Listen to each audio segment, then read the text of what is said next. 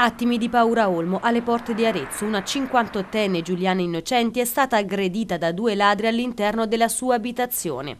L'aggressione è avvenuta sabato pomeriggio attorno alle 18 quando due uomini sono entrati nella casa della donna. Sono passati dal piano terra, dal finestrone, io pensavo che fosse il mio compagno che stava entrando perché con un cacciavite hanno aperto la porta ho aspettato un attimo non ho sentito niente, quindi ho acceso la luce, ero sopra il letto, avevo appena fatto la doccia. È stato una frazione di secondi.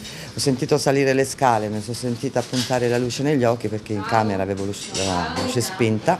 Ho chiuso la porta di camera ho aperto la finestra, ho cominciato a berciare, nel frattempo mi sono vestita perché appunto avevo fatto la doccia. E loro mi hanno sfondato la porta, mi hanno preso per il collo e poi l'altro io mi sono difesa in qualche modo, non lo so come l'altro l'ha strattonato via. E mentre uno dei due ladri, entrambi a volto scoperto ma al buio immobilizzava la donna, il complice rovistava nella camera a fianco. Infine i due banditi si sono dati alla fuga, a mani vuote. Non c'è stato il tempo, perché poi nel frattempo io ho telefonato alla figlia, che era qui al bar, e poi gli altri che erano nella strada mi hanno sentito berciare vicini di casa quindi sono venuti fuori, hanno telefonato loro 113